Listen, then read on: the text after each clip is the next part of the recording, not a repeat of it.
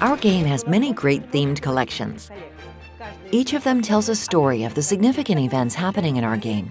The Hunt for Bismarck, collections dedicated to the release of new ships, the game's anniversary, and also to famous people. So Dasha and I would like to know, captains, which of the collections did you like most and why? Post your answers in the comments and don't forget to give this video a like and specify your in-game nickname. These simple steps will allow you not only to share your opinions about the collections you enjoyed the most, but also to become participants in a draw for a premium ship that we'll reveal at the end of the episode. So sit back and relax. It's time to set sail.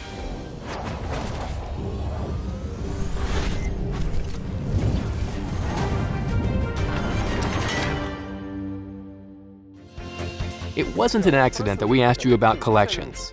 A new one appeared just recently. We're talking about the collection dedicated to Soviet battleships in the service of the motherland. Once you assemble it, you'll have the ability to change camouflage color scheme for Soviet ships and fly another flag on them. So where can you find the elements of this collection? Inside in the service of the motherland containers, of course. Apart from that, they can hold signals, coal, expendable victory camouflages, and a combat mission. The completion will grant you one of the Soviet premium ships, including Battleship Lenin. These containers can be purchased in the armory for provision tokens, a new resource which players can earn in the friendly victory competition. If you don't have enough provision tokens, you can always find them in the premium variant of In the Service of the Motherland containers, together with even more signals and camouflages. If fortune is smiling on you, you may also receive a combat mission for one of the Soviet premium ships. Let me remind you that the premium variant of containers can be purchased both from our shop or from the armory for doubloons. Apart from various useful in-game items, you can also obtain the unique historical commander Nikolai Kuznetsov from the armory. His distinctive features are two special talents and the traditional personalization for unique commanders. And who better to stand at the helm of a Soviet battleship than Kuznetsov? What do you think? Let me know in the comments. I'd also like to remind you that the new commander is available for provision tokens. Don't forget that the 12th season of Ranked Battles is currently being held on Tier 10 ships in our game. But don't despair if you haven't researched the first 10 yet. This season, you have an opportunity to acquire any of the required ships for the duration of the event. Information about this is available on our website. The link is in the description of this video. A 457mm main battery, the engine boost consumable, and powerful secondary armament. All these and many other features found a place on Tier 9 premium battleship Georgia. Do you want her in your port? Then hurry and visit the armory. You'll find this American there in exchange for coal.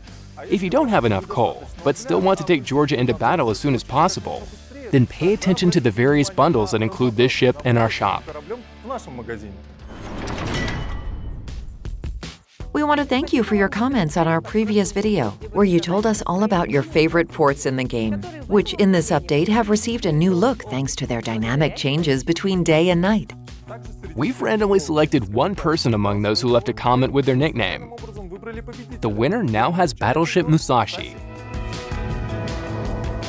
This week's prize is the reliable and incredibly beautiful Italian premium battleship Roma, so make sure to fulfill all the conditions of the draw. And don't forget to tune in for a fresh episode of Full Ahead in exactly one week's time.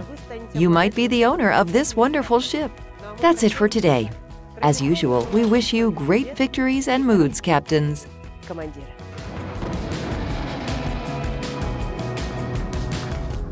А, я должен был подхватывать. Я подхватил!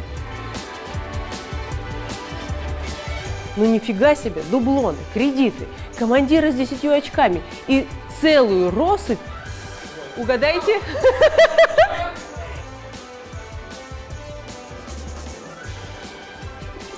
Что? Все. Все?